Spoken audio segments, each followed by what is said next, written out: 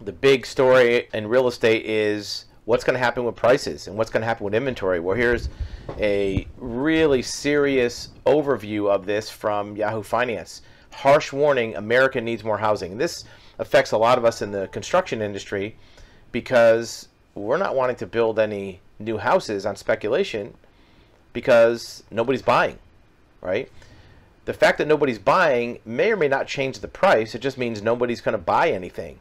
Um, a lack of buyers, a lack of demand doesn't necessarily crash the price unless sellers are willing to sell.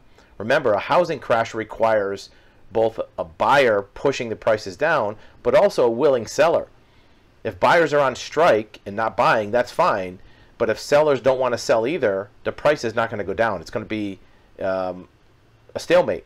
It's going to be like tug of war.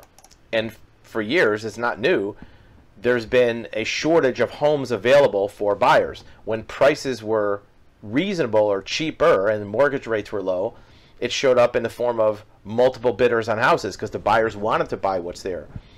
The fact that the houses have gone up in value and the mortgage rates are higher doesn't change the number of people out there wanting to buy a house. Look, when there were 20 bidders on a house, when the prices were low, that just meant those bidders were willing to buy there's still 20 people that need to buy a house. Those bidders did not go away. The fact that the prices are higher and those 20 people aren't willing to buy at that price doesn't change the fact that those 20 people still want to buy a house. They're still out there. It just means that the seller is not willing to sell at that price. Right? So the market still has the same demand, the same number of wanters. It just doesn't have the same number of willing sellers.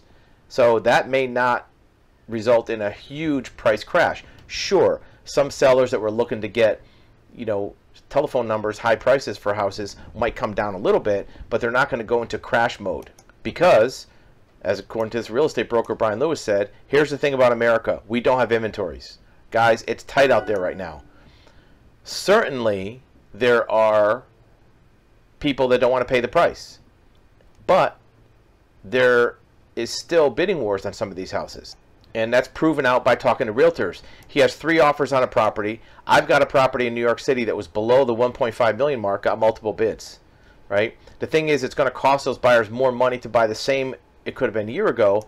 It comes down to monthly payment. Look, even if the monthly payment has gone up from, let's say, an average house that was 250 or 280 a few years ago up to 420, which is the average price of a house, and interest rates went up from 2% to 7%, that mortgage payment that would have been 2000 a couple years ago is now 4000 there's certain people that can't afford the 4000 or can't get approved on a mortgage for 4000 that doesn't mean they still don't want to buy a house.